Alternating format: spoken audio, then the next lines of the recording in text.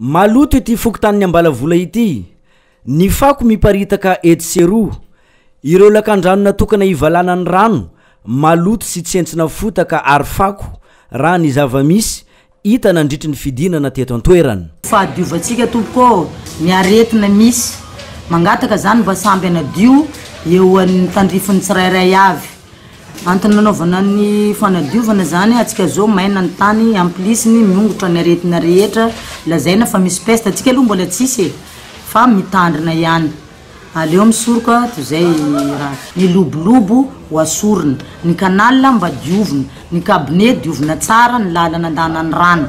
Manentana ireo izay manana trano ao amin'ny fokontany Ambalavola ny tompon'andraikitra mba handoa hetra.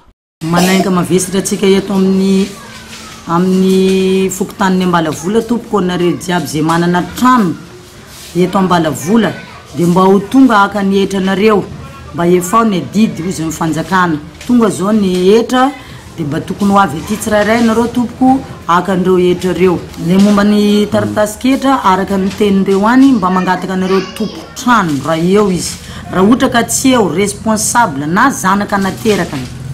Ny fandoavan-ketra dia manampy amin'ny ezaka ho fampandrosoana ny tanàna, amin'ny alalan'ireny volan-ketra aloan'ny tsirairay ireny. Ny fanadiovana ny tanàna indray dia antoky ny fahasalamana no sady fisorohana mialoha ny valan'aretina. Ny aretina peste rahateo izay miteraka resabe eto Madagasikara amin'izao, ka noho izany dia tombony ho an'ny vahoakan'i Ambalavola ny fanadiovana ny tanàna.